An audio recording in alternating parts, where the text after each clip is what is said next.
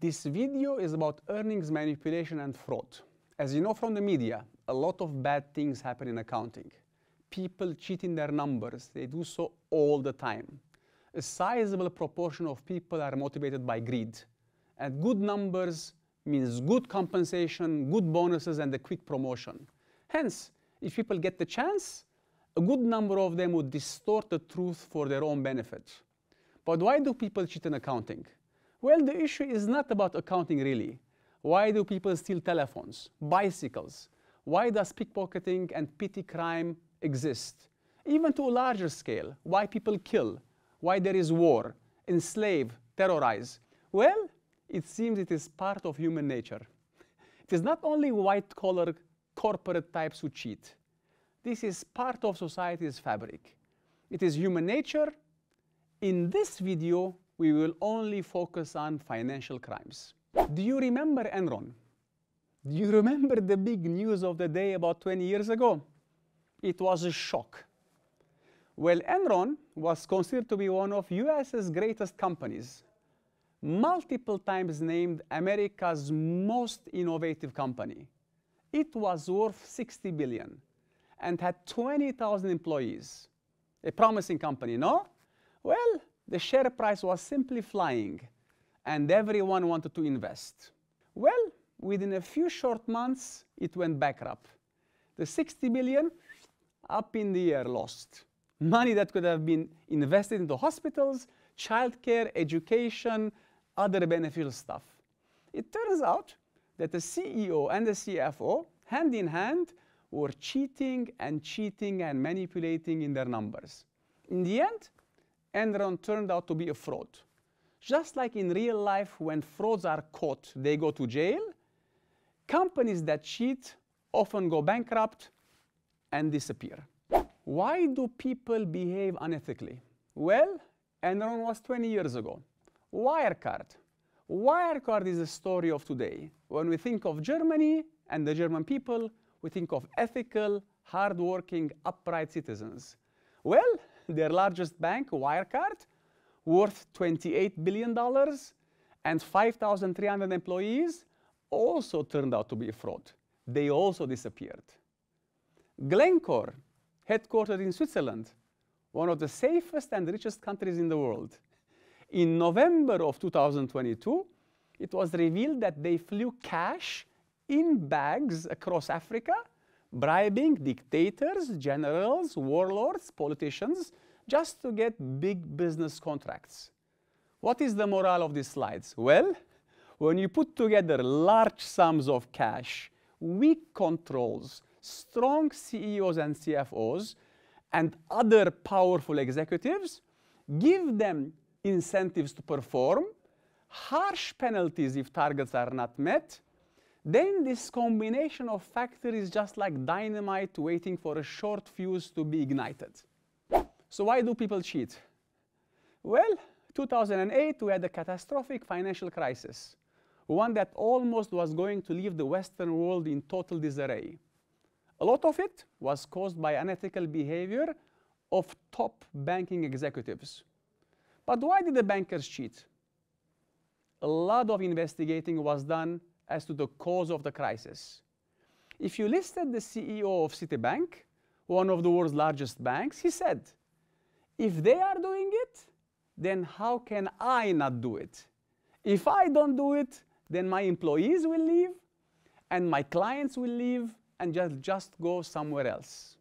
An investigation done by a top US law firm, Labaton and Sucharow, had the following survey. If you could commit fraud and make $10 million and there was no chance of getting caught, would you do it? Well, 24% of bankers said yes. And if you look at the younger group, 38%. The older group, 9%. Does this mean that older people, the old generation, are more ethical? No.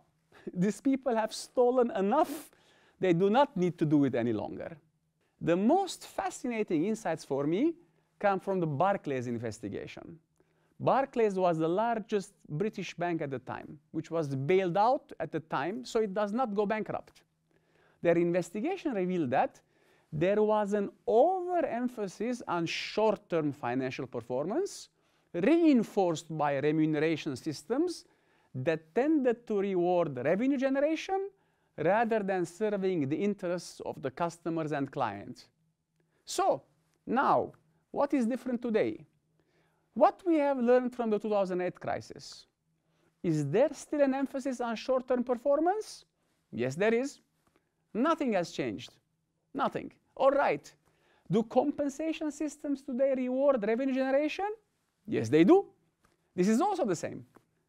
Now, if we generate revenues for our bank, and if customers are hurt a bit, is that good?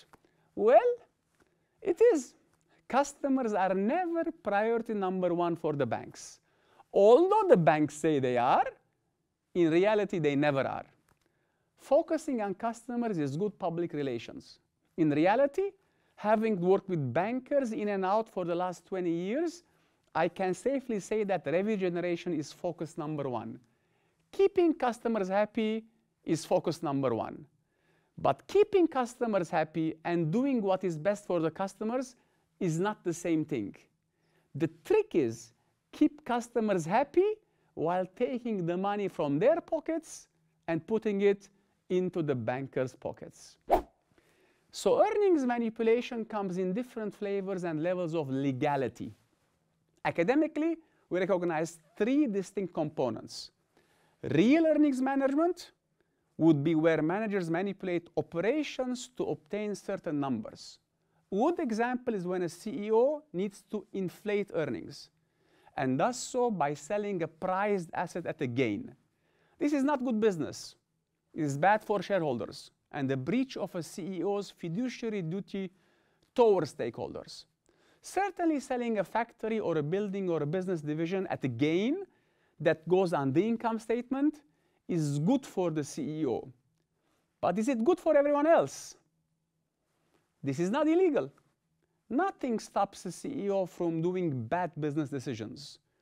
Every CEO does bad business decisions. Selling a prized asset at a gain is not illegal, but is certainly bad for shareholders. Next, next comes accrual earnings management. This is where a CEO needs to inflate earnings and does so using accounting tricks. The best example is that if a CEO normally puts a bad debt expense of 5% from credit sales, now decides to put a bad debt expense of 3%. This can justify this by saying economic conditions in the country are improving, or that they have implemented a credit granting system with the help of McKinsey, that they are the best consultants in the world, and they can turn any business around. So lowering the expectation on bad debt expense increases your income. Now, the main hurdle is that the auditors do not approve such a change. If the auditors approve, then nothing stands between the CEO and overly optimistic and inflated earnings numbers. Auditors have a weak hand when they negotiate with the CEO when it comes to predictions about the future. And bad debt expense is certainly something that relates to the future. So if a CEO wants to inflate earnings, by a few percentage points by manipulating bad debt expense, the chances are high that they can get away with it. Is this legal? Well, yes and no. It is certainly not legal to manipulate accounting numbers. It is also not legal to do something with the intention to manipulate. However, lawyers have a hard time prosecuting this in court because this is a civil case and not a criminal case they have to demonstrate intent, and this is hard to do. Accrual earnings manipulation is borderline legal. It is rarely prosecuted, and only in the worst of cases leads to sanctions and fines. Finally, we have fraudulent accounting, meaning we create numbers that do not exist and have no reason to exist. This normally involves creating fake paperwork to support the fake numbers. This is very different from accrual earnings management discussed before. Accrual earnings management means that we are changing assumptions underlying accounting numbers. Here, we are not changing assumptions. We are simply creating numbers. This happens often and normally leads to prosecutions, sometimes jail, often two big fines and sanctions. The best examples are MCI WorldCom, the world's largest telephone company at the time. They created invoices and fictitious sales that did not exist. Wirecard created fictitious Asian business that did not exist. Enron is another example. Contracts were maintained as revenue generating, where in fact contracts with clients had already been terminated. These type of manipulations constitute fraud and are illegal and lead to severe prosecutions. Bernie Ebbers, the CEO of WorldCom, went to jail, 12 years. Andrew Fastow, the CFO of Enron, went to jail for 10 years. Markus Braun, the CEO of Wirecard, is in jail and is awaiting the trial date.